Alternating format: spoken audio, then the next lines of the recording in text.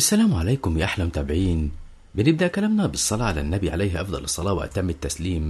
ما تنسوش الدعم بال like وال share للفيديو والاشتراك في القناة وتفعيل الجرس علشان يوصلكوا إشعار بكل جديد بنعمله. النهاردة معادنا مع مسلسل جديد وهو لصوص الزمن. بتبدأ الأحداث مع كيفن ولد صغير مهووس بالمعرفة ومش بيبطل قراءة في كتب التاريخ علشان يعرف عن الحضارات المختلفة والآثار الأسطورية اللي وجودها في حد ذاته لغز كبير. أوضته كانت مليانة بالكتب والمجسمات لأماكن تاريخية وحيوانات ما قبل التاريخ. ما كانتش أوضة طفل عادي أبدا. بيصحى الصبح في يوم متحمس جدا وأول ما المنبه بيرن بيجري يصحي مامته وباباه بيقول لهم إن النهاردة عيد ميلاده. بيهنوه بيقولوا له عيد ميلاد سعيد يا سيدي هتخلينا نروح أي مكان ممل السنة دي. ساعتها كيفن بيقول لهم إن عاوز يروح Woodhenge. فعلا باباه بياخده على الموقع اللي قال عليه وكان كيفن متحمس جدا ومبسوط بشكل غير عادي. بيحكي لهم عن Woodhenge وإنه موقع أثري. يسبق Stonehenge بسنين كتيرة. المكان كان عبارة عن مساحة من الأرض مليانة بالأعمدة وارتفاعها بيكون حوالي نص متر. أخته بتتريق عليه وبتقول له إيه اللي يعجبه في الأماكن المملة دي؟ حتى الأعمدة مش خشب أصلا. ساعتها كيفن بيقول لها إن دي أعمدة أسمنتية عملوها مكان الأعمدة الخشبية اللي كانت هنا علشان يحافظوا على الموقع الأثري وتاريخه في عقول الناس. كيفن لما بيلاقي عيلته بيتريقوا على الأماكن الأثرية اللي بيحب يروحها خصوصا وود هانج يرد عليهم وبيقول لهم إن الأماكن دي وراها ألغاز كتيرة. يعني ليه اتبنت أصلا وكان ممكن تبقى معبد أو سوق أو أي حاجة تانية؟ ساعتها بابا بيقاطع كلامه وبيخمن هو كمان إن المكان ده ممكن كان بيتنفذ فيه الاعدامات على الأعمدة الخشبية. الغريب إن كيفن مش بيتأثر بسخرية أهله منه ولا بتخليه يتراجع عن اهتماماته وكان شايف إن الأماكن الأثرية الغامضة دي كانت خرائط نجمية وليها علاقة بأسرار الكون. بس للأسف إن محدش من عيلته كان مقتنع بكلامه أو بيشجعه وكانوا شايفين إن كيفن ولد غريب. يعني حتى عيد ميلاده مش بيطلب حفلة عيد ميلاد ويعزم أصحابه والحوارات دي. ده بيطلب حاجات غريبة جدا. تاني يوم لما كيفن بيروح المدرسة كان المفروض إن ينضم لأصحابه في فريق كرة القدم بس بدل ما بيتفقوا على طريقة اللعب كيفن بيوقف يشرح كيفن بيوقف يشرح لهم عن أقدم ملعب كرة قدم اتعمل في أمريكا كان 400 سنة وإن التاريخ بيقول الباحثين إن حضارة المايا كانوا بيلعبوا كورة برؤوس أعدائهم المقطوعة. ساعتها زمايله بيتضايقوا منه بيسيبوه وبيمشوا من غير ما ياخدوه في الفريق. كيفن بيروح يقعد لوحده يقرأ كتاب الشخصيات التاريخية ولما بيرجع البيت بيقعد في أوضته كالعادة بيرسم وبيلون مجسمات للحيوانات التاريخية. فجأة الدولاب بتاعه بيهتز والباب زي ما يكون في حد بيحاول يفتحه بس بيسكت تاني وكيفن بيفتكر إنه بيتهيأله بعدها بيروح يلعب لعبة السفن الحربية وبيتخيل إن في حرب بين أسطول القراصنة. شوية وبيرجع يكمل تلوين في المجسمات لما فجأة بيلاقي الدولاب اتحرك من مكانه وزي ما يكون حصل زلزال. وفجأة الباب بيتفتح شوية وبيوقع رملة منه على الأرض. ساعتها كيفن بيقرب من الدولاب؟ وبيفتحه مرة واحدة وهنا كانت الصدمة. لما بيلاقي ورا الباب عالم تاني وشاطئ كبير. وقتها بيشوف محارب من الفايكنج بيهرب وبيطارده مجموعة من الجنود. الغريب إن المحارب كان بيشاور لكيفن علشان يبعد ويستخبى بسرعة وكيفن ما كانش فاهم إلا لما بيلاقي الأسهم بتترمي ناحيته فبيجري بسرعة. ولما بيستوعب إن في خطر وبيحاول إنه يوصل للباب بسرعة ساعتها المحارب بيجري هو كمان مع كيفن وبيعدي وراه من الباب وبيقفله بسرعة. فجأة كيفن بيلاقي نفسه في الأوضة والمحارب معاه بيقفل باب الدولاب كويس علشان الجنود ما يدخلوش منه. كيفن بينزل بسرعة ينادي على أبوه وأمه علشان يشوفوا الفايكنج اللي في أوضته بس محدش منهم بيصدقه وكانوا مقتنعين إنه بيحلم. لما كيفن بيرجع أوضته تاني كان محبط بس بيحاول إنه يتكلم مع الفايكنج ويعرف منه سبب إن الفايكنج اتخلوا عن أساليبهم الحربية واتجهوا للإصلاح الزراعي. طبعا الفايكنج ما كانش فاهم كلامه أصلا ومرة واحدة بعد العالم التاني اللي كان في الدولاب اختفى. فجأة بيظهر بعد تاني في الناحية التانية من الأوضة والحيطة بتختفي. ساعتها الفايكنج بيسيب كيفن وبيمشي وبيروح يركب المركب. ساعتها كيفن بيقرر إنه يروح وراه بس بينادي على أهله وبيقول لهم الأول. وعلى ما بيرجع يعبر للبعد ده بيتفاجئ إنه اختفى وبيتخبط في الحيطة وبيغمى عليه. تاني يوم بيفوق وأهله بيتكلموا معاه. بيحاولوا يفهموا هو ليه متمسك إنه يقرا ويعرف الماضي مع إن الماضي بتاعه خلاص ومعرفته بيه مش هتفيده في حاجة وإن المفروض يركز في المستقبل ويكون مستعد له أحسن. عشان يقنعوه بيقولوا له انهم هيشتروا له تليفون جديد علشان يواكب التكنولوجيا الحديثة. وكيفن بيقول لهم تليفون ليه ومين اللي هكلمه أصلا؟ ولما امه بتقول له إنهم هما اللي هيكلموه بيتريق ويقول لها طب ما إحنا بنتكلم مع بعض أهو. وفي النهاية لا هو بيعرف يقنعهم بوجهة نظره ولا هما بيعرفوا يأثروا عليه. بعدها كان كيفن في أوضته بالليل بيفكر ومستني إن الدولاب يتحول ويظهر البعد اللي كان ظهر قبل كده بس مفيش حاجة بتحصل وساعتها بيقرر ينام. فجأة الدولاب بيهتز وبيخرج منه مجموعة من الناس وكيفن بيسمعهم هم داخلين أوضته. كان خايف الأول وبيثبت مكانه ويسمعهم. هما بيقولوا إيه؟ كان باين عليهم إنهم بيهربوا من شخص بيطاردهم. أول ما كيفن بينور الكشاف عليهم بيترعبوا بيخافوا كلهم بيشاوروا على بينولوبي إنها هي اللي سرقت الخريطة. ساعتها كيفن لما بيلاقيهم خايفين منه فاكرينه الشخص اللي بيطاردهم بينور النور وبيقول لهم إنه مجرد طفل. بيطمنوا وبيقولوا له إن اللي بيطاردهم بيتنكر في أي هيئة وبيغير صوته على طول. وويدجت بيفتح الخريطة اللي معاه وبيدور على النقطة اللي هتظهر فيها بوابة تانية يعبر منها. لما كيفن بيسألهم عن اللي بيعملوه؟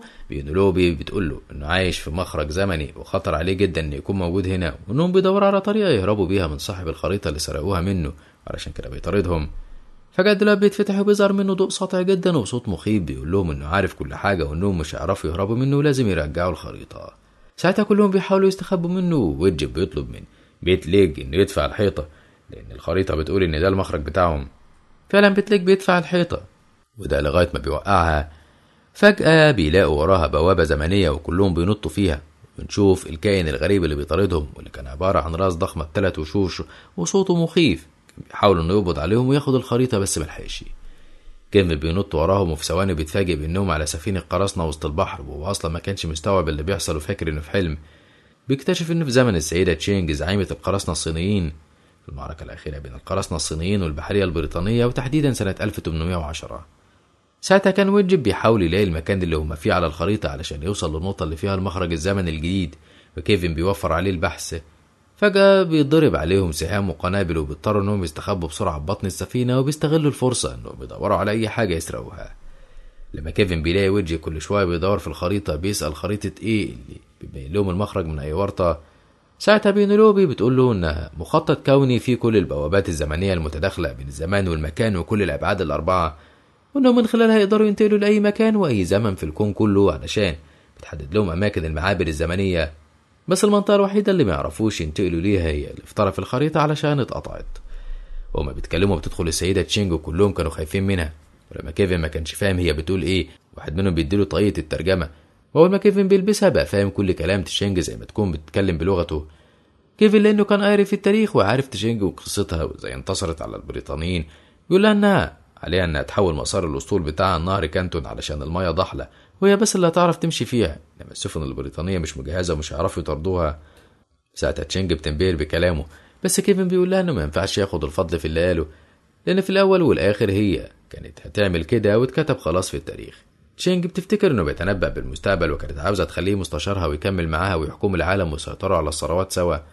بس في اللحظة دي بينولوبي بتتدخل وبتشده علشان يمشي معاهم. ما كانت مش عاوزاه يكون معاهم أصلا. المهم ان ويدجي بيحدد مكان نقطة البوابة الزمنية الجديدة اللي هتخليهم يرجعوا 2000 سنة قبل الميلاد. كانت عبارة عن دوامة في المية أول ما بينطوا فيها بينتقلوا للبر في زمان ومكان تاني. ساعتها بينولوبي بتطلب من كيفن إنه يقرأ المستقبل ويدلهم على أماكن الكنوز بس هو بيقول لها إنه بيقرأ الماضي وعارف عنه بس إنما مش بيتنبأ بالمستقبل. بينولوبي بتتضايق وكانت عاوزة تخلص منه علشان مش هينفعهم بحاجة. كيفن بيتفاجئ إنهم في الموقع الأثري ستون هونج في وقت بنائه؟ ساعتها بيتحمس جدا إنه جات له الفرصة إنه يزور ستون هانج وكمان في وقت بنائها علشان يعرف اللغز اللي حير الناس كلها. بيجري على العمال اللي كانوا بيبنوا الأحجار وبيثبتوها مكانها علشان يسألهم عن السر بس لما بيروح يتكلم مع واحد منهم بيكتشف إن مفيش سر ولا حاجة وإنهم بيبنوا المكان ده علشان يكون مكان لاحتفالاتهم والناس تشتري هدايا. ساعتها كيفن بيعرف إن أبوه كان عنده حق لما قال له كده. بالليل كيفن بيقعد يتكلم مع بينولوبي وبيعرف إن اللي بيهربوا منهم يبقى الزعيم بتاعهم علشان ما كانش بيقدرهم سرقوا منه الخريطة وهربوا. ولما كيفن بيقول لها لما هو قوي قوي كده ليه مش بيعرف مكانهم وياخد منهم الخريطة؟ ساعتها بينولوبي بتقول له إن الحكاية صعبة جدا من غير الخريطة اللي بتحدد أماكن البوابات الزمنية وبتوعد إنها ترجعه بيته بعد ما ينفذوا عملية السرقة اللي بيخططوا لها. في الوقت اللي كان في عالم الظلمات الزعيم عرف إن الخريطة اتسرقت وبيبعت في طلب فيانا الصيادة. الصبح كيفن بيصحى وبينولوبي بيتكلم معاه مع ويدجت اللي بيقول لها إن كيفن شخص مش عادي لأن عمره ما شاف مكان مجتمع فيه عدد البوابات الزمنية اللي ظهرت عنده في أوضته وده غير إن أوضته كان فيها حاجة مميزة وسحر المعرفة مسيطر عليها. بس بنلوبي بتعرضه وبتقول له إنه مجرد طفل. المهم إن ساعتها بتظهر بوابة زمنية وبيعبروا منها للماضي قبل الميلاد ب 2000 سنة. وده علشان يسرقوا الحصان اللي بيقولوا عليه. كيفن بيتفاجئ إنهم انتقلوا لطروادة معنى كده إنهم هيسرقوا حصان طروادة أشهر حصان في التاريخ. ساعتها بيقربوا من بوابة طروادة وبيشوفوا الحصان وبيكتشفوا إنه أكبر من إنهم يعرفوا يسرقوه ويسافروا بيه عبر الزمن. وكيفن بيستغرب إنهم مخططين لسرقة حاجة هم مش عارفينها أصلا. قرر بينولوبي انها تلغي العملية ويعبروا من بوابة زمنية. بس البوابة اللي هتظهر تاني جوه المدينة يعني لازم يدخلوا المدينة. ما كانش في طريقة يدخلوا بيها إلا إنهم يستخبوا في حصان طروادة مع جنود سبارتا ويدخلوا المدينة في السر.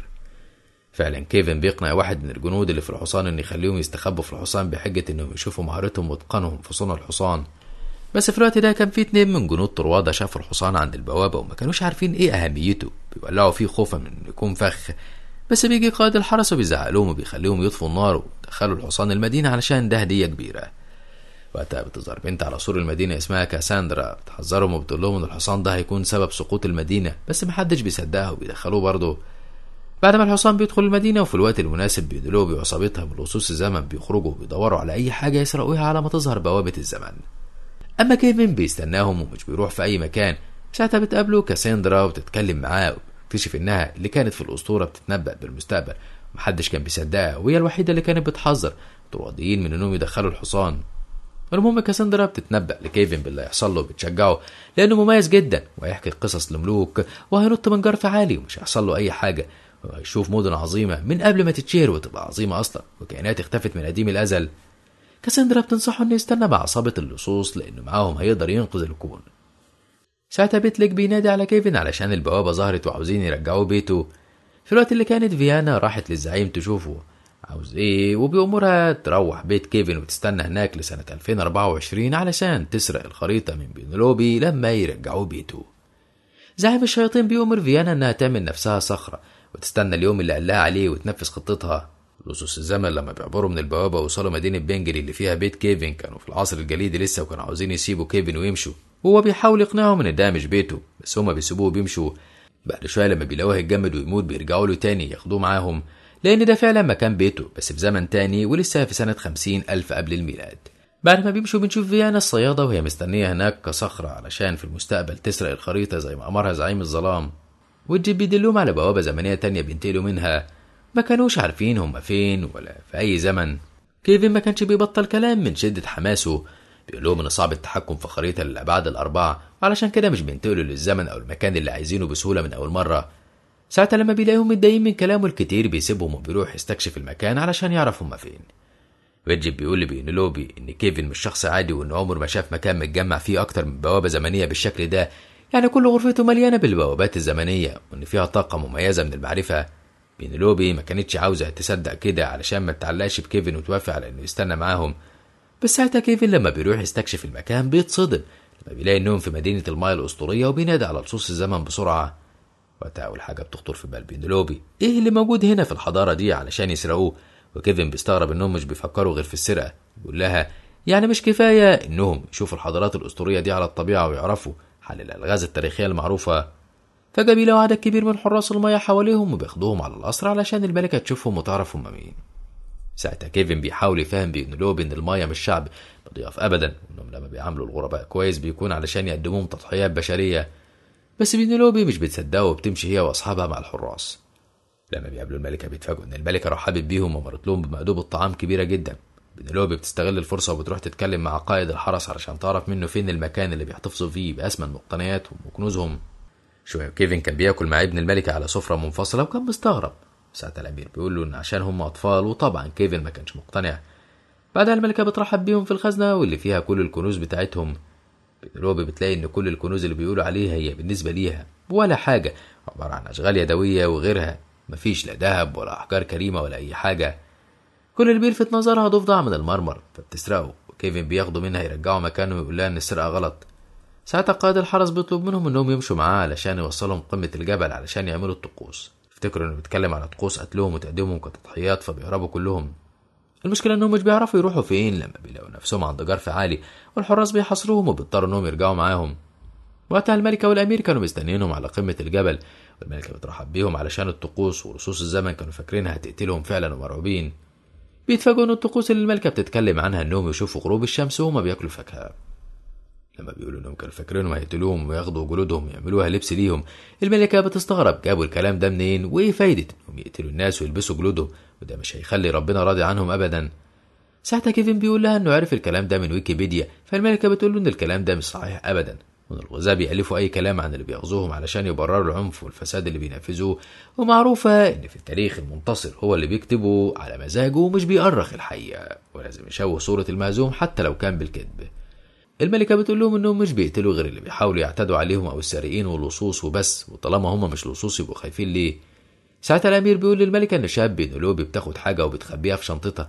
فالحراس بيفتشوهم بسرعة ومش بيلاقوا معاهم أي حاجة وساعتها الحراس بيسيبوهم يمشوا لما بيرجعوا عند الجرفة ومنحدر تاني كيفن بيفتكر كلام كاسيندرا لما قالت له إنه هينط من على جرف عالي. فبيقول للعصابة إنهم لازم ينطوا من على الجرف ده لأن البوابة الزمنية موجودة هنا. وفعلا كلهم بينطوا سوا وبيعبروا من البوابة الزمنية. في الوقت اللي كانت فيانا لسه صخرة في حديقة بيت كيفن وزعيم الظلمات بينادي عليها وبيقول لها آن الأوان خلاص. في لحظة بتتحول وبترجع لهيئتها الأصلية وبتقرب من بيت كيفن علشان تسرق الخريطة. في الوقت اللي كيفن ولصوص الزمن بيرجعوا أوضته تاني كانت كل حاجة زي ما سابها بالظبط ما كانش فيه أي تغيير في أوضته. ساعتها بيتفاجئوا بأن الكائن السحر اللي بيطاردهم لسه موجود فبيستخبوا بسرعة قبل ما يشوفهم ويخرج من بوابة زمنية. وقتها كيفن بيشكر لصوص الزمن على الوقت اللي قضاه معاهم والمغامرات اللي عاشها في وقت قصير وإن دي كانت أول مرة في حياته يحس إنه بينتمي لفريق. لما بينصحهم إنهم يبطلوا سرقة كلهم بيطلعوا الحاجات والألعاب اللي سرقوها من أوضته. ومع إن كيفن قضى وقت طويل وعاش مغامرات في أزمنة وأماكن مختلفة إلا إن كل الوقت اللي مر ده كان بس مجرد ثواني من الزمن الفعلي وكان أبوه وأمه لسه مكانهم ما اتحركوش وما حسوش بغيابه أصلا.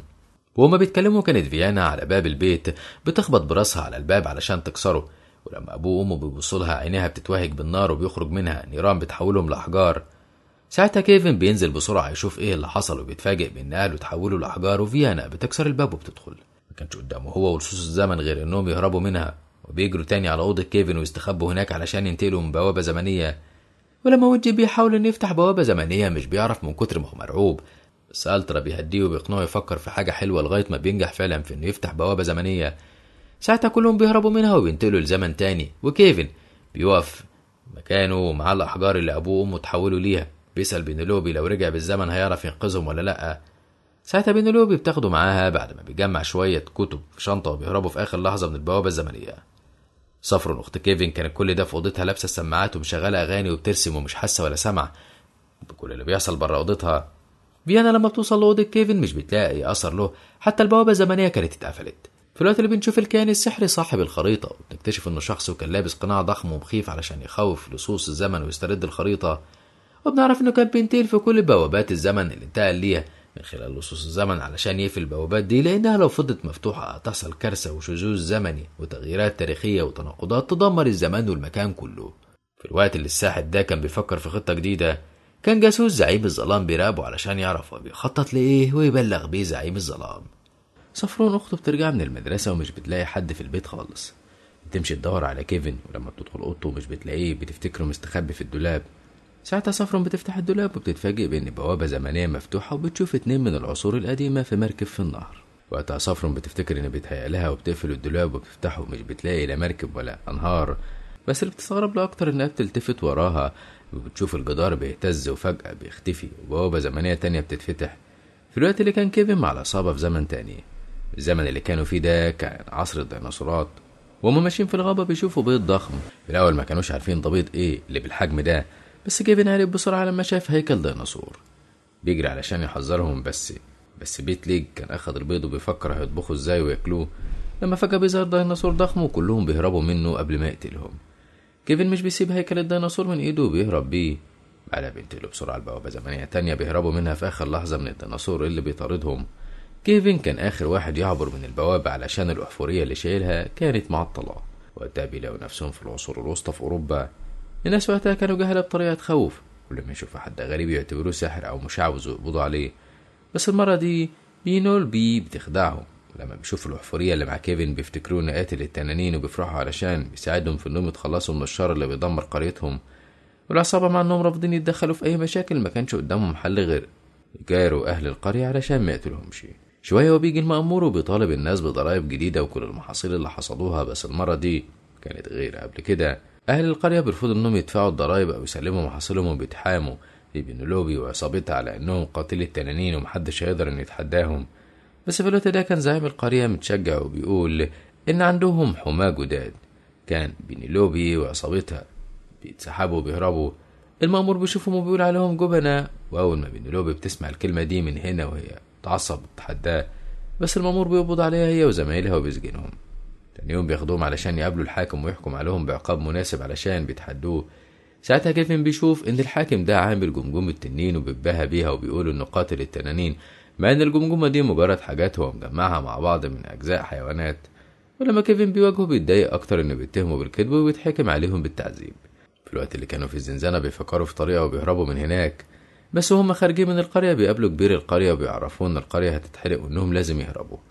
بعد شوية كان الحاكم جاي بنفسه مع الجنود يجمع الضرايب اتفاجئ ببينولوبي وكيفن والعصابة عاملين فيها صحراء وبيخوفوه علشان يتراجع عن أذية الناس. كيفن بيستغل الفرصة وبيخوفه بإنه ساحر وبيوريه التليفون بتاعه وبيشغل فيديو وبيهدده بإنهم لو ما بعدوش عن أهل القرية يحبسهم في التليفون ده. ساعتها الحاكم بيخطف منه التليفون وبيأمر بتقييدهم في نص الساحة علشان يولع فيهم. في الوقت اللي كان المأمور والجنود بيقيدوهم كيفن وزمايله بيتكلموا معاهم وبيقنعوا المأمور إنه مش لازم ينفذ أوامر الحاكم. وإن هو لو رفض أمره مش هيتعاقب لأن الجنود هيكونوا معاه. ولو الكل رفض ومش هيكون في حد يعرف يأذيهم. معنى أصح يتمردوا عليه. فعلا المأمور بيروح يتخانق مع الحاكم وفي نفس الوقت اللي كانت سافرون اكتشفت سر البوابات الزمنية وانتقلت من خلالها بتدور على كيفن وبتسافر لكل الأماكن اللي هو راحها لأن البوابات الزمنية اللي كانوا بيعبروا منها ما كانوش بيقفلوها وراهم. وأول مكان بتروحوا سفينة القراصنة الصينيين طلعت منهم إن كيفن والعصابة نطوا في المية وبيدلوها على المكان بالظبط. ساعتها سافرون بتلاقي دوامة ظهرت مرة واحدة في المية وبوابة زمنية ظهرت تعبر منها للزمن التاني على أمل إنها توصل لكيفن. لما بنرجع لكيفن كان بيعلم أهل القرية التاريخ بس بيتصدم لما بيلاقي بيت ليك جاي ومعاه بيض الديناصور اللي شافوه في البداية وبيطلع إنهم رجعوا زمن الديناصورات وسرقوهم علشان يخوفوا الحاكم. فجأة البيض بيفقس وتظهر أمه بتهاجم الكل وبتدمر القرية علشان تستعيد أولادها والناس بيترعبوا لما بيشوفوها وبيعرفوا إن التنانين حقيقية مش أسطورة.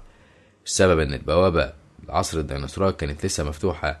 شوية وبنشوف سفرون وصلت طروادة وبتشوف الجري والمعركة وهي شغالة في الحصن وبتدخل تدور على كيفن. وفيانا الشيطانة كانت هناك هي كمان وبتبدأ تطاردها علشان بتتعرف على ريحتها.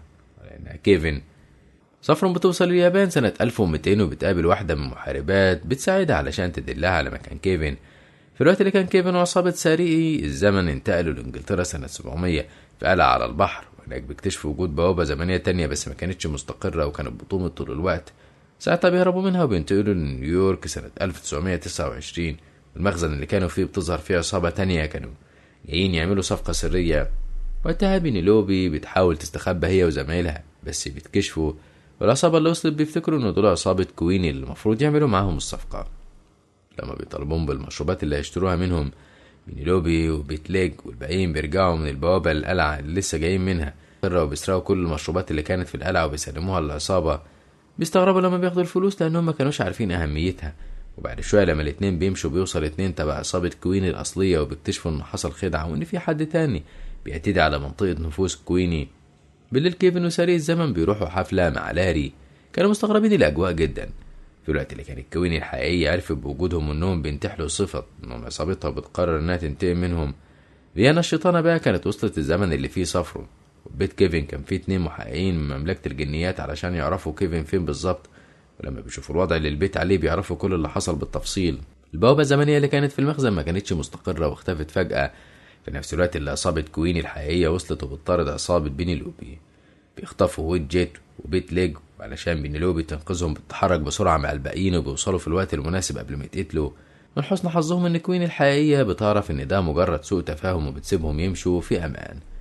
سافرون كانت في الوقت ده مع المحاربة اليابانية وبتحاول تفهم منها لو شافت كيفن.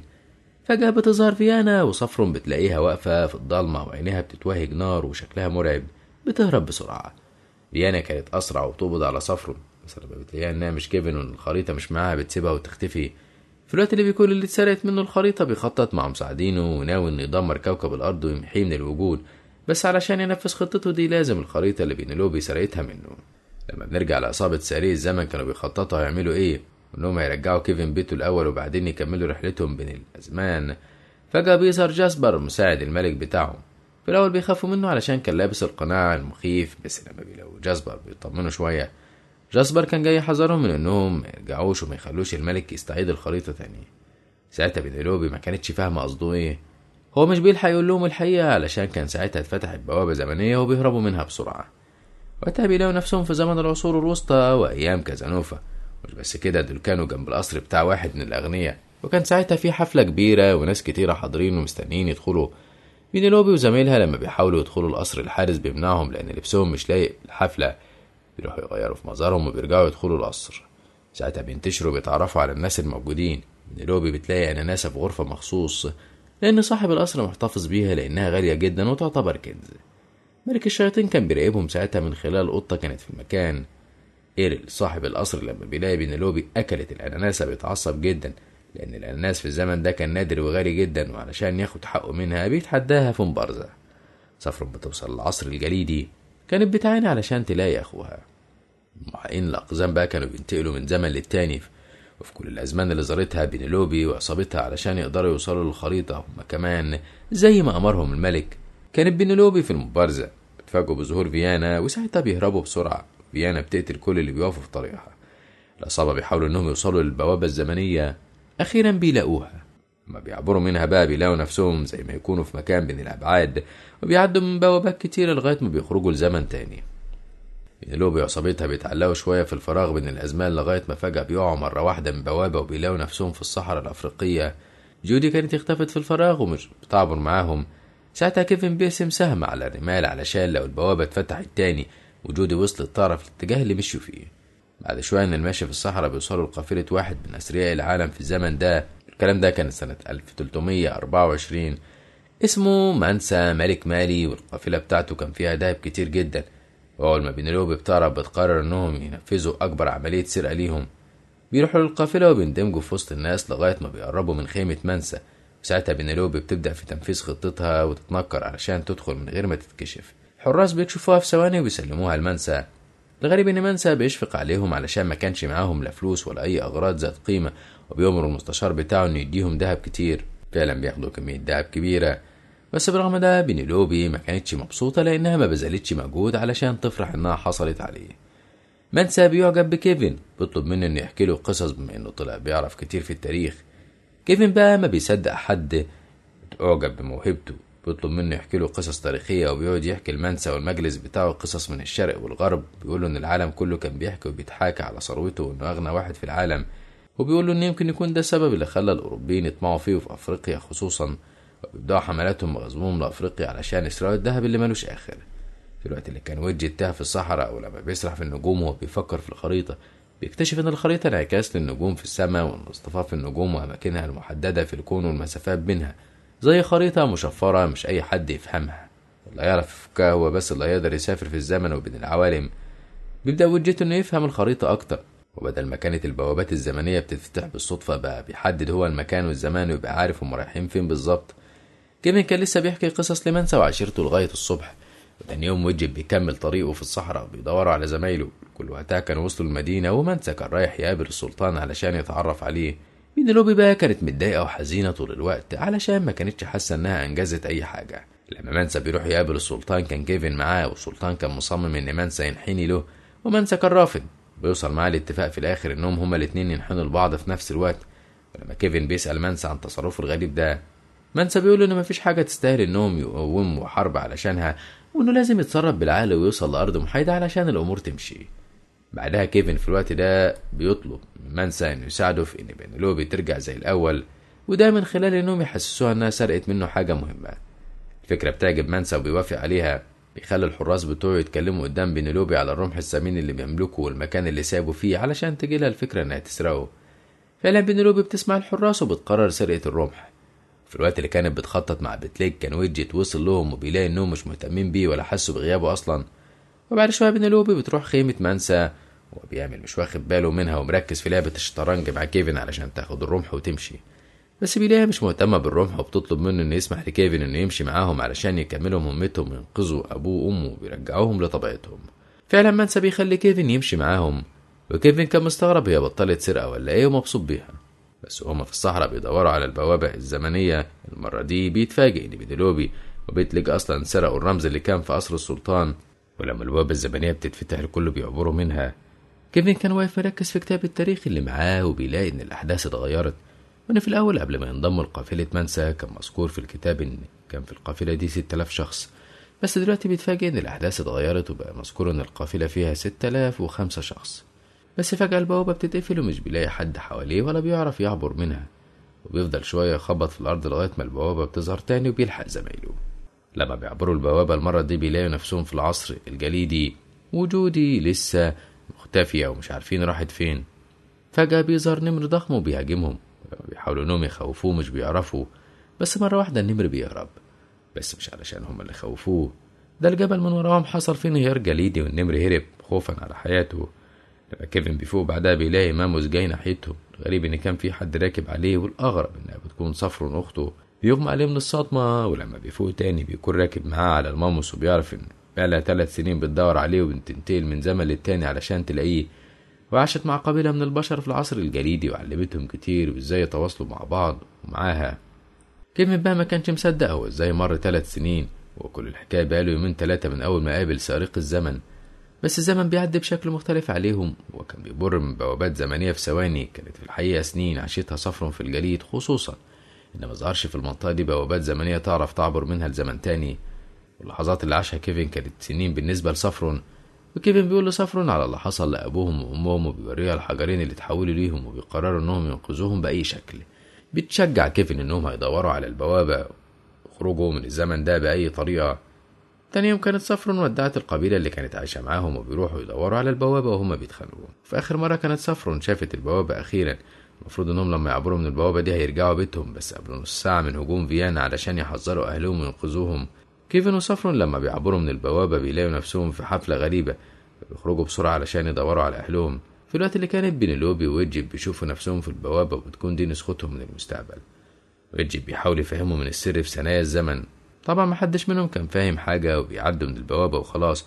يخرجوا من تلاجة في نفس البيت اللي كان فيه حفلة كيفن وكيفن خرج منها. وقتها كانت صفرون اكتشفت إنهم في سنة 1996 وده قبل اللي حصل ده ب 30 سنة مش ب 30 دقيقة زي ما كانوا فاكرين. ساعتها بيقرروا إنهم يوصلوا لأبوهم وأمهم في الزمن ده ويتعرفوا عليهم وكيفن بيلاقي أبوه بتعجبه شخصيته في شبابه جدا.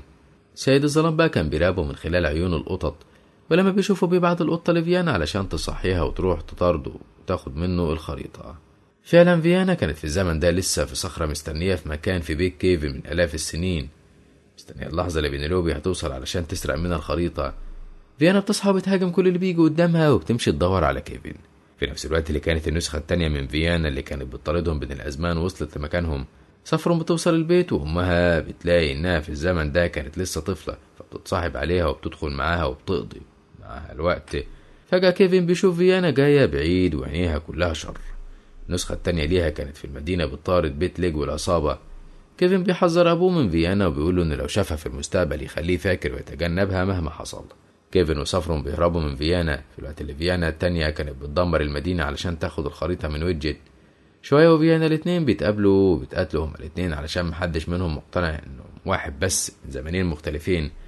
بينيلوبي ساعتها بيستغل الفرصة هي وزمايلها وبيرجعوا لنفس المكان اللي فيه البوابة علشان يخرجوا من الزمن ده. هنا بيشوفوا نفسهم في الماضي ويدجت بيحاول يفهم نسخته التانية. حكاية ثنايا الزمن وإنه يعرف ينقذهم المهم انهم بيرجعوا للعصر الجليدي. وساعتها كيفن بيكتشف إنه فقد الصخرتين اللي بيكونوا أبوه وأمه وهنا بيعرف إنه ممكن يكون أنقذهم. فجأة النمر بيهاجمهم ومرة واحدة بيتجمد مكانه. وسيط الظلام كان بيتحكم فيه وبيقول لهم رسالة من خلاله. بيهدد كيفن بإنه لو ما سلموش الخريطة هيقتل أبوه وأمه لأنه قبض عليهم. ساعتها كيفن بيطمن إنهم عايشين وبيتفق بعدها مع أصحابه إنهم يرجعوا. قلعة الظلام علشان يحرروا أبوه وأمه. بس تاني يوم لما بيجوا يشوفوا الخريطة بيلاقوا إن الجزء اللي فيه قلعة الظلام مقطوع من الخريطة. هنا كيفن بتجيله فكرة إنهم يرجعوا طروادة علشان يسألوا كاساندرا يخلوها تستخدم قدراتها الخاصة في التنبؤ وتعرف لهم فين الجزء المفقود من الخريطة. ونعرف إن الأقزام كانوا بيخططوا إنهم يسرقوا الخريطة من العصابة. ولما واحدة من المحققين بتستغرب هيسرقوها إزاي؟ واحد منها بيقول لها على الطريقة. في الوقت اللي كان كيفن واللي معاه رجعوا طروادة وعرفوا إنه كاساندرا في السجن وكانت الحرب لسه شغالة زي ما يكونوا لسه سايبينها من شوية. المهم بيسيبوا الجنود وبيقبضوا عليهم وبيحبسوهم في السجن علشان يقابلوا كاساندرا وأول ما كيفن بيسألها عن الخريطة بتسألهم فين آخر مكان شافوها فيه؟ بيكون ده المكان اللي فقدوا فيه سوزان صديقتهم اللي بيتكلموا عليها كل شوية من البداية وبيكون الجزء المفقود من الخريطة في نفس المكان اللي ماتت فيه سوزان. يعني لازم يروحوا هناك يدوروا عليه علشان يعرفوا ينتقلوا لقلعة الظلام اللي محبوس فيها أهل كيفن. ساعتها بيهربوا من السجن وكاسندرا بتتنبأ لبنلوبي إنها لو راحت في المهمة دي هتقدر تشوف جافن خطيبها تاني. بس بتقول لها إن جافن عايش على رأس واحد. بنلوبي بقى بتستغرب وبتشك إن كاسندرا عندها قوة سحرية أصلا. بس إلى حد ما بنلوبي بتشجع وبيخرجوا من طروادة يدوروا على المكان اللي هتظهر فيه البوابة الزمنية التانية. فجأة هما ماشيين على الشط بيشوفوا دوامة في البحر وبيفتكروها في الأول البوابة الزمنية. بس بيتفاجئوا إن ده شخص عملاق جدا وبيكون الملك اللي سرقوا منه الخريطة ظهر لهم بشكل مرعب علشان ياخدهم منهم تاني. ساعتها الكل بيهربوا منه وكيفن هو الوحيد اللي بيقف مذهول والملك العملاق بيضربه بإيده. فجأة كيفن بيلاقي نفسه بعد تاني فاضي وكل المكان من حواليه أبيض فبيشك إنه مات. لغاية ما بيلاقي الملك ظهر له وبيتكلم معاه وبيحاول يقنعه إنه يتعاون معاه ويسرق الخريطة من أصحابه ويرجعها له في مقابل إنه يحقق له كل أحلامه مهما كانت. ثواني وكيفن بيلاقي إنه مع زمايله والملك اختفى. بعدها وجيب بيستخدم الخريطة وبيرجع بالزمن للوقت اللي وقعت فيه سوزان من على الجبل. بيتخانقوا مع بينيلوبي علشان اكتشفوا إنها كانت متفقة مع ويدجت إنه يفتح بوابات زمنية وينتقلوا لكل الأماكن اللي ممكن يكون جافن راحها علشان تلاقيه تاني. ساعتها بيشوفوا نفسهم لما كانوا في الوقت ده وقبيلة الماوي قابضين عليهم على الشط. سافرون ساعتها بتاخد بالها وبتشوف سوزان وهي بتهرب ولما بتنبههم بينادوا عليها بس سوزان بتهرب منهم أسرع. كل بيطاردوا سوزان وبيتفاجئوا. لما بيلاقوها بتفتح بوابات زمنية من غير ما يكون معاها الخريطة. هنا بيفهموا إنها زيفت موتها علشان تخلص منهم. المهم بيدخلوا من البوابة اللي سوزان اختفت فيها وبيلاقوا نفسهم في الصين في الوقت اللي كان سور الصين العظيم لسه بيتبني وما كانوش عارفين يتخطوا الحراس علشان يلحقوا سوزان. بس لما كيفن بيمدح الملك وبيقول ان السور اللي بيبنيه ده هيكون أعظم بناء تاريخي على مر السنين. الملك بيحس بالفخر وبيخليهم يدخلوا المعسكر وبيعبروا ورا سوزان من البوابة اللي فتحتها. فجأة بيكونوا في مدينة كافا في سنة 1343 وقتها كان الطاعون منتشر والمغول بيحاصروا المدينة وبيرموا فيها جثث ناس مصابة بالطاعون باستخدام المنجنيق علشان ينشروا العدوى في المدينة ويقدروا أنهم يفتحوها. الكل بيتفاجئ إن كيفن عارف معلومة زي دي وبيكملوا مطاردة سوزان المرة دي بتواجههم وبتقول لهم يبعدوا عنها وإنها مش عاوزة تكون معاهم تاني. ساعتها الكل بيتصدموا من ردها وإنها زيفة موتها وكانوا طول الوقت حاسين بالذنب علشانها وطلعت في الآخر مش عاوزة تكون معاهم. وقتها سوزان بتستخدم الجزء المفقود من الخريطة واللي بيكون معاها. طول الوقت وبتستخدمه علشان تفتح بوابات زمنية. وفي الوقت اللي كانوا واقفين فيه مصدومين من اللي حصل. بيظهر مجموعة من الناس عاوزين يقتلوهم علشان حسوا منهم بالتهديد وانهم جواسيس. بس في آخر لحظة سوزان بترجع تاني وبتنقذهم تنقلهم من بوابة زمنية تانية. اتفاجئوا إن جافن عايش فيه وإن هو وسوزان خدعوا بينيلوبي واختفوا من حياتها علشان مش عاوزين يكونوا لصوص. وكمان بيتجوزوا من غير ما تعرف. بنلوبي بتصطدم لما بتعرف الحقيقة وإنها كانت بتلف الكون والأزمان كلها بتدور عليه وهو اللي قاصد إنه يختفي. ساعتها سوزان بتقول لهم إن كل اللي عملوه من غير أي فايدة وإنهم لا لصوص زمن ولا حاجة وإنهم مجرد سائحين كانوا بينتقلوا بين الأزمان والعصور من غير ما يستفيدوا ولا يفيدوا حد. بنلوبي بقى بتزعل على اللي ضيعته واللي كانت بتدور عليه. بس كيفن بيهديها وبيقول لها إنه فخور إنه عرفها وإنهم غيروا كتير في التاريخ. ساعتها بنلوبي بتقرر إنها تكمل المهمة للنهاية وتنقذ عيلة كيفن. تطلب من سوزان الجزء المفقود من الخريطة. ساعتها سوزان بتقولها إنها موجودة في الجزء اللي بتدهر عليه أصلا. فجأة الجزيرة بتتحرك وبيكتشف إن الجزيرة دي تبقى على رأس راجل ضخم وعملاق عايش في المية. كيفن وقتها بيطلب من الراجل العملاق إنه يوصلهم لقلعة الظلام علشان ينقذ عيلته. فعلا العملاق بيوافق وبيقول له إنه يوصلهم لأقرب مسافة من القلعة يعرف يقرب لها. بيبدأ إنه يمشي في المحيط والجزيرة على راسه زي ما هي. ولما بنلوبي بتسأل كيفن هيقنع سيد الظلام إزاي إنه يحرر أبوه وأمه لا إنه يطلب منه إنه يسيبهم وبس. بعد شوية هنا العملاق كان وصل لمكان جبلي واللي بتكون موجود فيه قلعة الظلام. ولما بيقربوا من القلعة كانت حواليها أنهار من الحمم البركانية وما كانوش عارفين يتخطوها إزاي ويتسلقوا القلعة. فجأة بيتفتح نافع سري وبيعرفوا إن ده مدخل القلعة. ساعتها كيفن بيدخل. الباقيين بيرفضوا إنهم يساعدوه لغاية كده. كيفن بيطلب منهم حاجة واحدة وهي الخريطة. بنلوبي بتوافق تديها له. وأول ما كيفن بيدخل النفق بيقع في بعد تاني وبيصحى يلاقي نفسه في غرفته زي ما هي بس ما كانش فيها أي سحر ولا بوابات زمنية ولا حاجة. ودي حاجة كيفن بيستغرب لها. حتى أمه وأبوه كانوا موجودين وبيفهموه إن كل اللي مر بيه كان مجرد حلم. ولما بيفتح الدولاب علشان يشوف البوابة الزمنية اللي كانت فيه مش بيلاقيها بيتفاجئ إن أمه وأبوه عاوزين ياخدوا منه الخريطة الزمنية. كانوا مجرد شياطين متنكرين في هيئة أمه وأبوه. ساعتها سيد الظلام بينادي عليه وبيطلب منه الخريطة. حتى أهله كانوا في صف سيد الظلام وبيحاولوا يقنعوا كيفن وصفروا إنهم يسلموا له الخريطة. بنلوبي وعصابتها بيدخلوا في اللحظة دي وبيساندوا كيفن. هنا بتقوم خناقة بين فيانا وسيد الظلام علشان عاوزة مكافئتها علشان قبضت عليهم. بس هو في الوقت ده بيرفض لأنهم كده كده موجودين في القلعة. هنا سيد الظلام بيقوم بخطوة أخيرة علشان يقنعهم يسلموا الخريطة وبيستخدم قوته السحرية وبيعمل كرة من الطاقة. يخلي كل واحد منهم يشوف مستقبله لو سمعوا كلامه وتعاونوا معاه وإنه يحقق لهم كل أحلامهم ويكونوا سعداء. محدش فيهم بيقتنع برضه بالخدعة دي لأن المستقبل ممكن يتغير بقرار أو بخطوة مختلفة ومحدش عارف ممكن يغير قراراته إمتى وعشان إيه. وفجأة صاحب الخريطة بيظهر وبيستخدم صواعق البرق علشان يدمر القلعة ومحدش يهاجمه. ولما ملك الجنيات بيحاول إن يقتله وياخد منه الخريطة مش بيعرف لأن قوته كانت ملهاش تأثير في القلعة. كيفن والباقيين بيهربوا بسرعة وكيفن بيقول لهم الحقيقة وإنه بدل العلبة اللي فيها الخريطة من قبل ما يدخلوا القلعة أصلا مع صفرون. وبيطلع العلبة اللي فيها الخريطة في نفس الوقت اللي سيد الظلام بيكتشف الخدعة اللي اتعملت فيه وكان غضبه مرعب وكل اللي حواليه بيخافوا منه. بس الكارثة لما كيفن بيلاقي إن الخريطة اختفت. لما بيفتح العلبة بيلاقي اللي فيها مجرد ورقة بيضة مش الخريطة الزمنية السحرية. ساعتها كلهم بينهاروا بيدوروا عليها في كل مكان وما كانوش عارفين اختفت فين وإزاي. فيا ترى ممكن يكون الأقزام هم اللي قدروا يسرقوها ويستخدموا سحرهم. بكده بقى يخلص الفيديو بتاعنا النهاردة. لو عجبكم ما تنسوش دعمنا بال like وال share للفيديو. والاشتراك في القناة وتفعيل الجرس علشان يوصلكوا إشعار بكل جديد بنعمله.